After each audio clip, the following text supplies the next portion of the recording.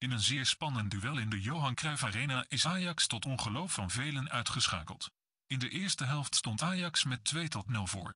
Het leek een fluitje van een cent om de finale van de Champions League te bereiken en naast Liverpool te staan.